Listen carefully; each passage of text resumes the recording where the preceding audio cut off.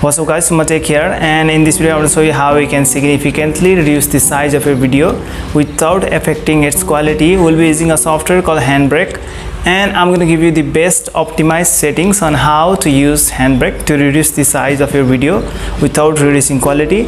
Okay let's get started okay guys i'm on a pc screen right now. You can see firstly launch your browser and then go to this site called handbrake.fr we're gonna download the handbrake software firstly and then just press on download handbrake.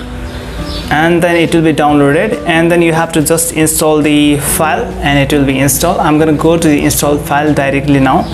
Okay. Now you can see handbrake on my pc right here. Okay and we have a video that we'll be using right here. You can see final xbox on pc i'm gonna rename it to okay raw video. Okay. Now launch your handbrake or you can directly drag the video to handbrake icon and it will be loaded in the software. I'll just go to the conventional way. Okay open the file and then go to desktop. And then choose the file that we have on desktop right here raw video and then it will be loaded. Now the first thing that I do to reduce the size of video is that I check on this parameter. Look here 1920 into 1080p it means the video is in 1080p format.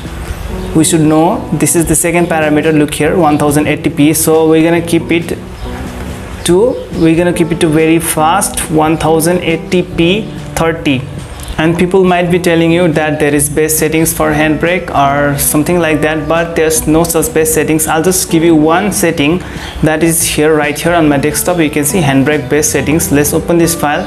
And you have to take note of these things. Look here.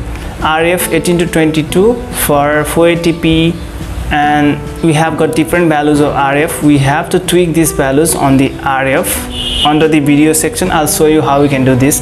I have 1080p video so i'm gonna put the rf between 20 to 24 right here you can see. So you have to choose this rf i'm gonna show you how we can tweak this rf now let's close it. Okay go to the video section right here and then you can see rf is 24 right here look you can see. Now it was between 20 to 24 for 1080p so i'm gonna put it to 22 okay. Now this is the setting and there's no such more thing you have to do here. It's very simple. And then we have to browse. I'll keep it on desktop okay? Put it on desktop. Now i'll give it a name call output and dot .mp4 okay press save. Now just go to start encode here. Now the encode has started and you can see the progress at the bottom. You can see here if you have other programs running on your computer then you can just close those programs in order to speed up this process. So let's wait for some time. Okay guys the encoding has finished. Let's go to the desktop. And then you can see the output right here. You can see. Now if you check the size of these two videos you can see here. We have the size of 554 MB and then we have the size of 67.5 MB that means I think it's nine times small. I don't know but let's check the quality of these videos. Okay you can see. This is the quality of first. That is the original file. And now let's check the quality of the output. You can see it's the same quality. Look here. So we have reduced the size of this video by nine times without reducing its quality. So that's awesome. Just take care of these rf settings only look here rf settings. I have given this here.